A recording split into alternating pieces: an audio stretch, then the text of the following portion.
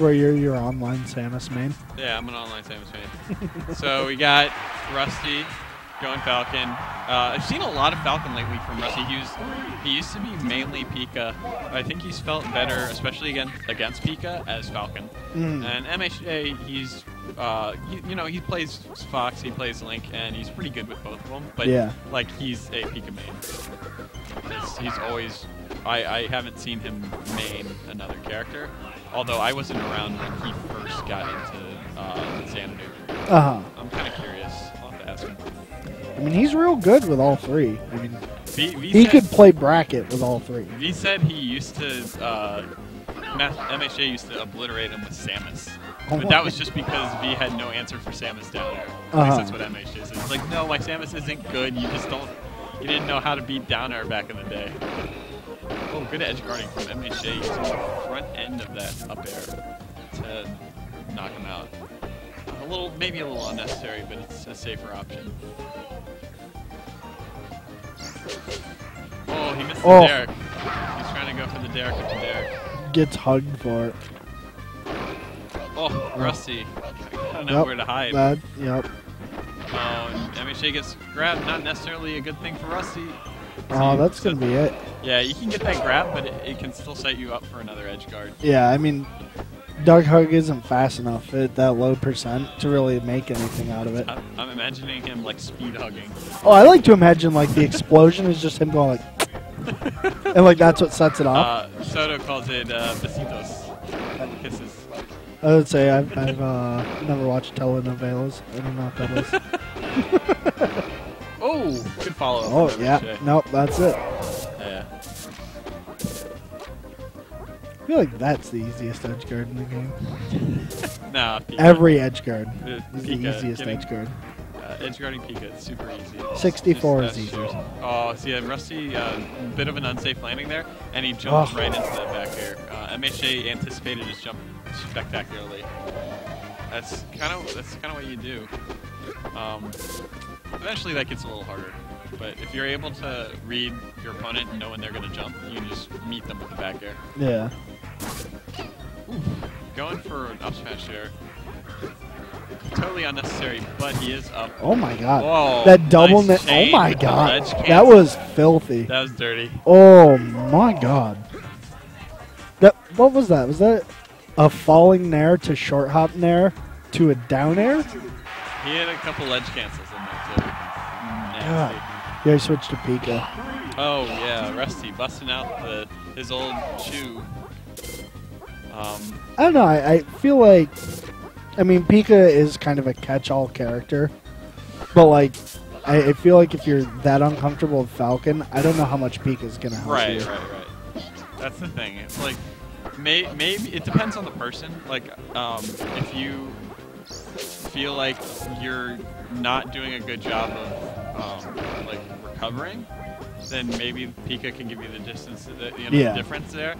But but you're right. Realistically, if you're just not winning the neutral, going Pika's that's not gonna help you. Like you still have neutral to play, Yeah. even if you're Pika, because you know the other person is also still Pika. Yeah, the like a, a good swap might be um, if you're like if you're winning the neutral a lot, but you're not finishing your combos right. Then you go character where um, winning the neutral is you know like Oh, just short. I, I don't know I don't know. Maybe, maybe going a character if you're losing the neutral and going a character where losing the neutral isn't as brutal um, can help. But at the same time, you, still have to win the neutral here. Yeah. This is a game predicated on neutral. Yeah. Good. Yeah, no, that That's was a good. good uh, warp out of Rusty there. Kind of got himself out of harm's way. Um, but the switch is looking good for Rusty already. Yeah, no, he's already keeping up. Yeah. I mean, granted, you know, the first one was a zip zap SD, but I mean, he took a stock right there, you know, only at 42%. Right. Oh, he doesn't get the up B out, but the roll works just as well. He gets, gets hit by the back air. Um, that was a bit of an unsafe up Oh. He's, yeah, he needs to work on I finding a feel little like snap safer to places. ledge Yeah, would be better in that situation. safer places to land there. I mean, that's the other thing. Like, if you swap off to Pika, like, how do you know where your escape routes are if you know you spend most of your time playing someone else? Right. Like Well, you just I switch mean, off to Falcon. huh? At least for Rusty, he plays. Um, I mean, I feel like he plays both pretty Yeah. equally. Oh, Ooh, yeah, that was a call out. Yeah, MHA is still feeling pretty confident, Yeah, no, he's playing pretty well today. But Rusty uh, definitely has, has looked pretty strong in this game. Stock has not gone his way. Oh, the single can be good. Uh, it's the fade back, but MHA wasn't going to be fooled by that. Oh, Oh, yeah. That's that's a, a That's a tough classic. right? Yeah, he's really the only one, uh, at least here, that we see do that. I don't even know what the angle is on it. That's why I'm bad. Nah, I, trust me, I, I can't get it to work either, but I haven't really tried. Uh oh. Okay, only a double. Oh. So MHA looks like he's definitely adjusted a bit. Yeah. Kirby. I think Rusty Rusty needs to slow the pace down a little bit. Yeah. Um, he's getting suffocated by MHA, just like that.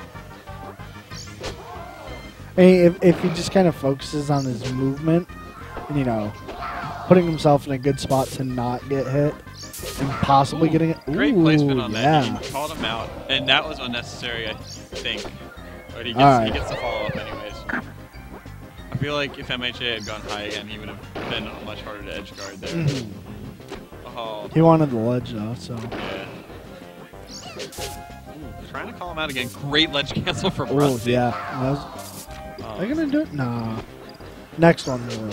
uh, yeah, in that spot. is too predictable with that one. He tries to, to beat him out with the shield drop down there, but MHA was ready for it. Some of these are really good spots where MHA's picking to uh, call Rusty out. Because, I mean, you know, they're going to aim for the platforms. You know, you don't always know which one, but if you get a hitbox that kind of covers, like, the center of the platform, you're going to cover Pikachu sliding across it on the quick attack. He hits him the wrong way. So MHA was just Ooh. playing that, that basically camping game. He's sitting there waiting for Rusty, and Rusty finally threw out an unsafe aerial and got punished pretty hard. See if he can oh, get up attack, not the. uh, Quick attack to cover that distance. I like the choice. A lot of people would have just sprinted that, but He threw out an aerial a little late there. He gets the grab. It's been pretty solid with his edge guards. Oh, and he had Oh. the he had the read, but just not the timing. He gets him back off the stage. Oh, everyone knows this. oh Protag 2-0 Dark Horse. Oh my god. Uh, Yo. an animal. Not happy about losing the shears. Rage Tagonist is just possibly the scariest player here. Like when he gets mad, like The lamest Falcon. oh. And Uh-oh. wow, Yep. MHA empty hop into the down air. If Mercy's got a read. Nothing there, but he catches Okay. the landing. Uh, I to think. I think MHA wanted to fade back onto the ledge. I mean, any mistake's going to cost Rusty right here. Right, right. So He has to play pretty flawlessly to bring this to game three. But definitely capable. Oh, rolls no. up That's it. And that'll do it. MHA Wow. takes it 2-0. Close second game. Perhaps Rusty might have stuck with, you know, Pika the whole way instead of starting with Falcon. you know that was uh, it's pretty close.